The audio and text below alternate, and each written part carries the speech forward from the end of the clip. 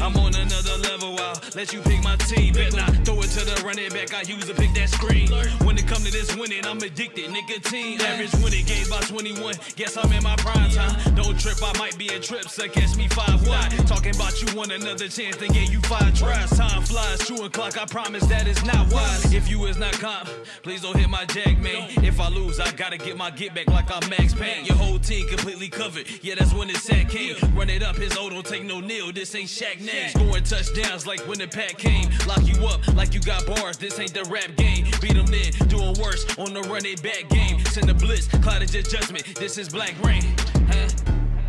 I'm in my zone, but we manning up. Send the blitz, cloud your judgment, this is black rain. Uh, I'm in my zone, but we manning up. Send the blitz, cloud your judgment, this is black rain.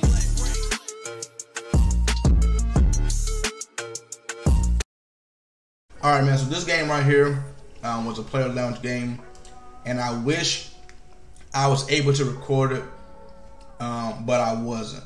So I want y'all to see like what actually what actually happened. So I'm playing this game. Well, I'm recording, right?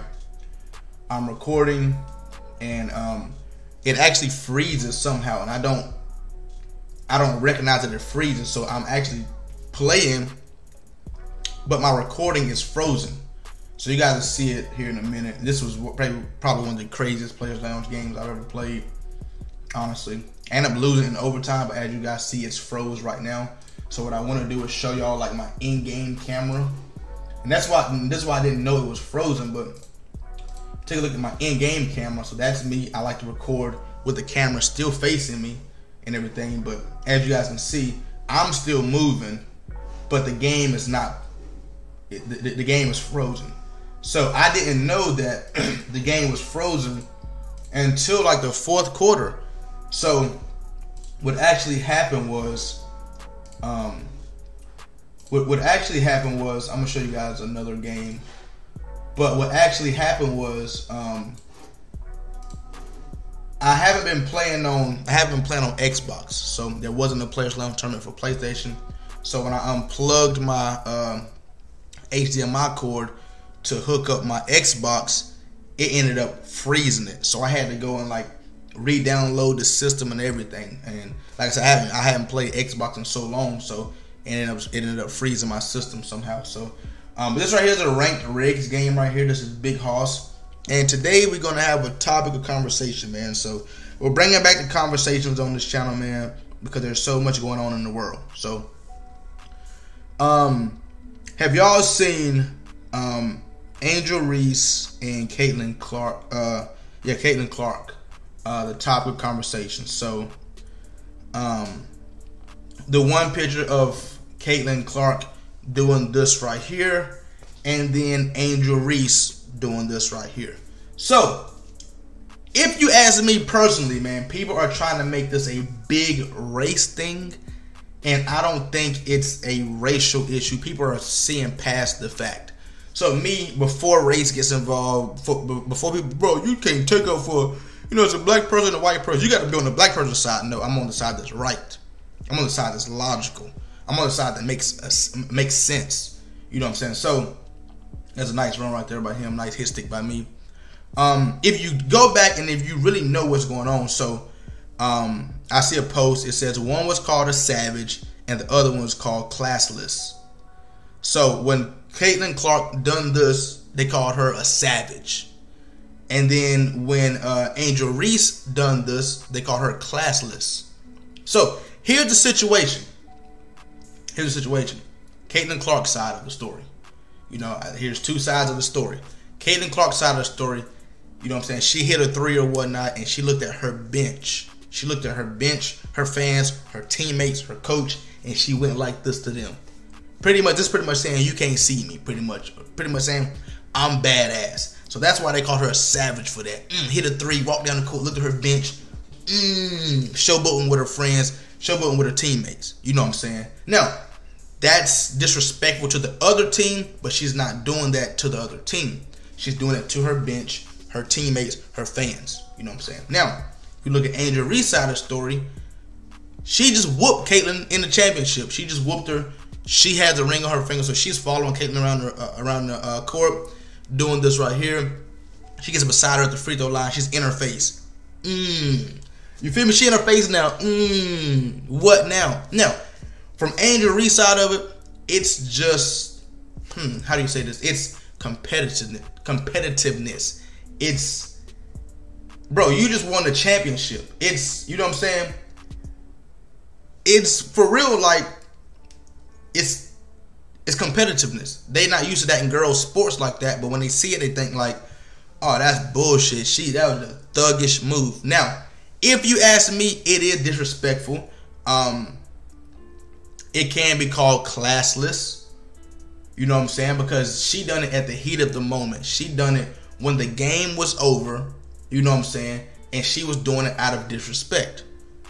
If you say she's not doing it out of disrespect, then you're wrong because she's following her around. She in her face with it. Mm, we just won the ring. We just whooped y'all's ass. You feel me? Mm, now, can you see that? You can't see me. You feel me? So if you if you look at it from that point of view, it's disrespect.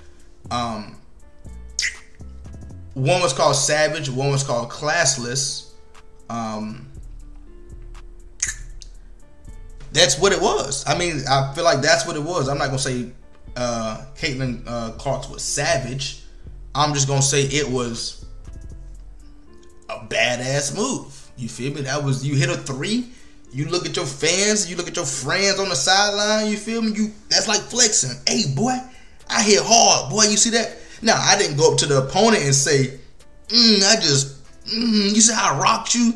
I put you, mm, you feel me? And we just beat y'all. I didn't do that to the opponent. I looked at my bench and I said, mm, flexing with, you feel me? Now, as an athlete, you understand the difference. Now, people are trying to make it seem like it's a big race issue. If Caitlin Clark would have done this to Angel Reese, it would have been the same situation. But people are trying to make it seem like, oh, because she's white, they're gonna say it's savage, it's cool. But and because Angel Reese is black, it's a bad move. It's it was you know what I'm saying. But the difference is the difference. She done that to her sideline. She flexed with her with her teammates, and Angel Reese did it to the opponent whose move that is. That's like that's that's how do you not see the difference? If you can't see the difference, then that's that's crazy. Now, like I said, I understand the competitiveness. I, I understand that. I understand like I just beat you in the championship. Trust me, I understand that.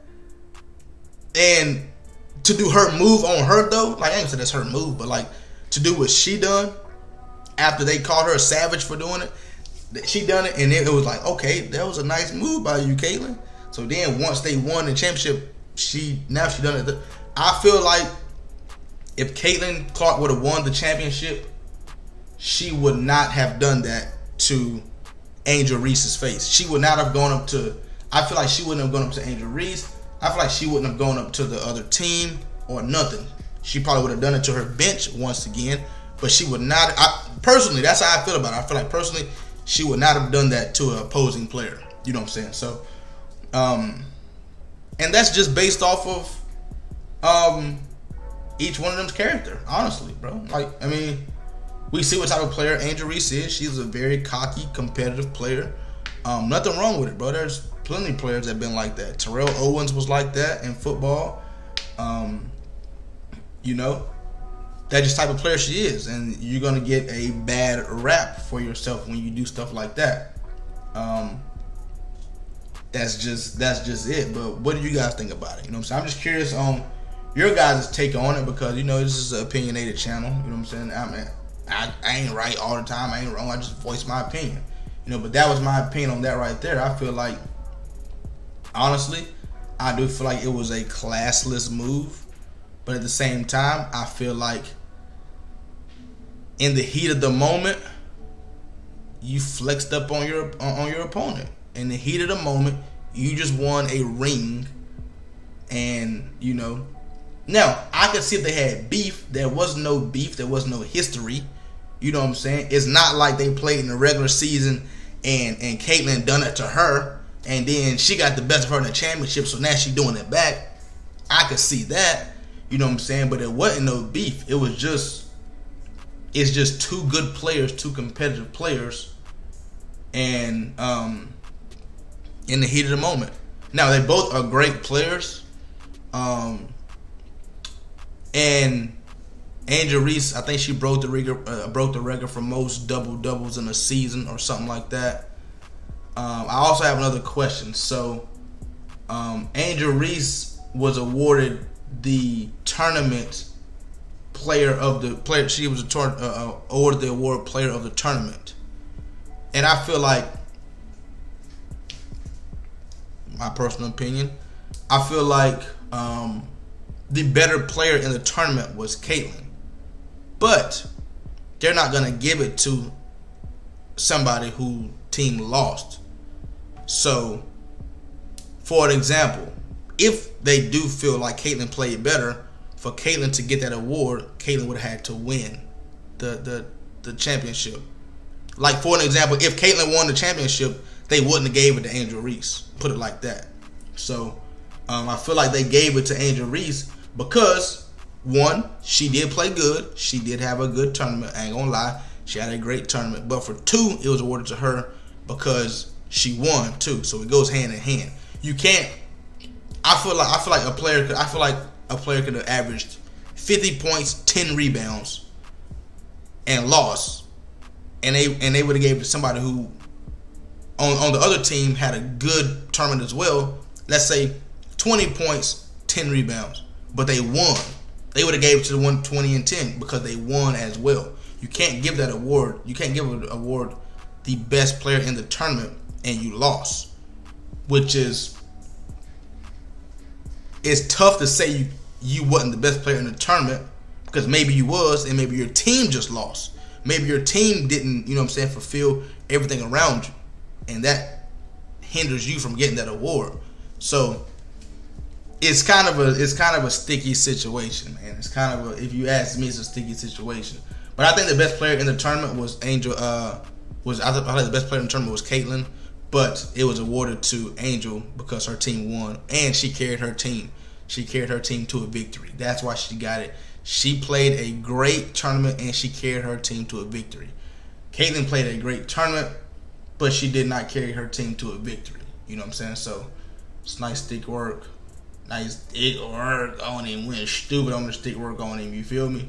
But um and celebrated on him. But yeah, man. Um, how do you feel about the situation? So they had a post interview and Angel came out and said there is no beef between me and Caitlin. As there should not be. Like there's no beef, but the media will make it seem like it's beef because two competitive players and there was a hot situation. That right there should have been a, a catch right there. But um, that was the issue. The issue was the fact that it was just a hot situation. Um, now, have I ever flexed up on an opponent like that? Hell yeah.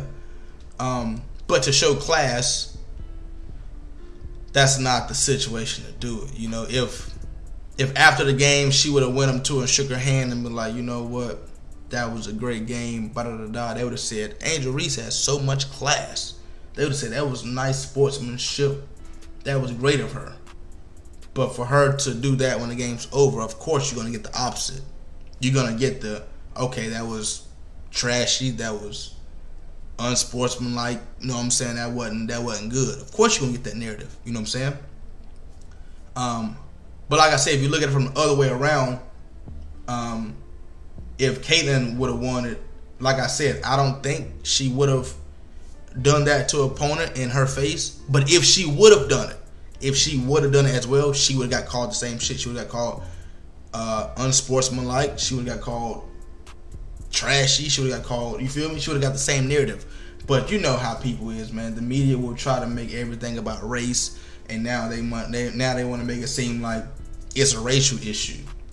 I feel like it's not a racial issue at all. You know what I'm saying? But they, that's just my opinion on it, man. Um, a lot of people like to, you know how the narrative is in social media. Anything hits the social media, everybody has a, a say so, and it's always a negative say so. Always a negative. You know what I'm saying? It's never when something hits the social media, it's never a positive. Hey, bro, like, you know what I'm saying? It, it's it's never nothing positive when too many people get involved with. You know what I'm saying? Freedom of speech and anybody can voice their opinion, and then you just throw them on a on a podcast or whatnot and now the pot and, and now like oh man, the way things is in today's world is crazy. You get on a podcast and say something that goes global, and now that's what it is. You know, but I'm glad she got on there and she said there is no beef between us. And there shouldn't be, you know. She won, she lost, and that's that. I mean, they shouldn't be bumping heads about nothing. You know, that's just one handled it one way, and I feel like the other would have handled it a totally different way. But at the same time, since she handled it like that, that's what it is. But it ain't no beef. Hey, we had our chance to settle it on the court. My team beat your team. I get to celebrate how I want to celebrate. The way I'm celebrating is by telling you you can't see me. We just got a ring. Eh, ain't shit you can do about it. You feel me? And ain't shit Caitlin can do about it at this point. She lost. You feel me? So it's just a man. It's just a. It's it's it's it's a competitive sport, man. And the fuss is the big fuss about it is the fact that um got a nice pick right there. The big fuss is about it is they're not used to that in women's sports. So when something does happen like that, and it's a black person, of course they're gonna say, you know, oh that was bad sportsmanship. Oh that was terrible. If um if um you know Caitlin would have if Caitlin would have done it, I feel like she would have it would have got the same it got the same narrative as well. Um but now because it's a black person that, that done it first, like it, you, you're gonna get the bad narrative from it. You know, there is no good narrative from from that. There was no good narrative from that. There is none. It's bad sportsmanship. You know, and I don't think that'll affect her her, her stock. You know, because on the field she's still a, I mean on the court she's still a great player. You know, but coaches be wanting to see class and they want to see all that type of shit within the player when they draft them. And I be feeling like personally it ain't got nothing to do with me on the basketball court. But what, uh, what you also got to understand is it has something to do with um, the way you promote the team and, and the jersey that you're that you have on your back. So when I was in college pretty much um, if you got in trouble and you was um, and, and you played sports they held you to a higher standard, and it was because you're representing the school. You know what I'm saying? They don't. It's not. It's not the the point that oh you're you or you're that or you're this. No, it's like okay, you got in trouble, but we're gonna hold you to a higher standard because you're actually representing the school on TV, on national TV, on television, and shit like that. You know what I'm saying? You out there in front of 17,000 fans playing football and you doing, you know what I'm saying, you doing bad, that represents us. That's gonna shine more light on your bad situation. So of course, we're gonna hold you to a higher standard. And it's like, for an example, if you D1 football player, amazing. Everybody know you nationally. You get a DUI, that's gonna hit the news because now you got a DUI and they're like, okay, why are they letting a, uh, a athlete drive drunk, pretty much? Whereas little Timmy go to the same school as you, little Timmy get a DUI, that won't break the news at all. Nothing to be said about that because little Timmy is not in front of millions of fans. Little Timmy just work at McDonald's and they don't really care about little Timmy getting a, a DUI. They just care about little, little Timmy's money make sure little Timmy's still paying for his classes and shit. You know what I'm saying? So they're always gonna hold you to a higher standard. Um, than you know, so to say, just say a a college student. That right there should have been a pig, should have been a then should have been a catch by Travis Kelce. That right there should have been all type of shit.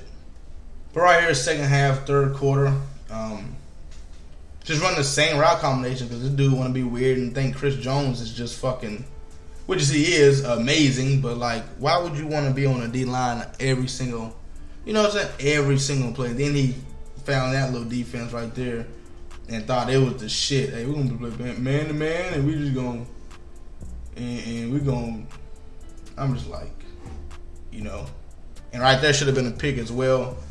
Glad it wasn't, but I'm five for seven, 200 yards, two touchdowns. You know, and the score is a lot to a little bit. But yeah, man, I hope you guys enjoyed the video, man. Um, we will be doing more Players Lounge videos. Um, I wanted to do trash talks, but right now I just don't have time to do trash talks right now, man. I got a lot going on. Um, but make sure you guys comment down below on the situation and how you guys think um, it could have been resolved better, or what do you guys think about the situation? Like, was Angel Reese wrong, or do you think it's a racial thing that the media is trying to push, or you know, what is your perspective of it? You know what I'm saying? Comment down below if you guys don't know what I'm talking about. I'm talking about the uh, women's national championship basketball game. Um, who was it? LSU versus who does Caitlin play for? LSU versus Iowa. LSU versus Iowa. And what's funny about it, I'm gonna tell y'all the funniest thing about it. The very funniest thing about it, I looked out there on the court, bro. I looked out there on the court and it was and this is probably why people try to make it a racial thing, but I swear to God, I was with friends watching the game and I said, yo, it's all white people, all white females versus all black females on the court. I said, damn, that is crazy.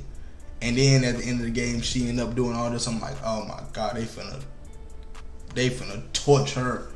They finna treat her bad in the comments and.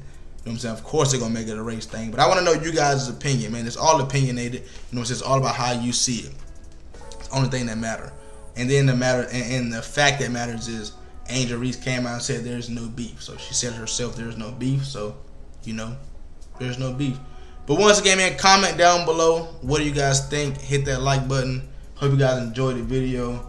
Um, this guy quits in about 33 seconds after I keep running the ball on him. So uh, that was a GG. Hey, Black Right. Yeah.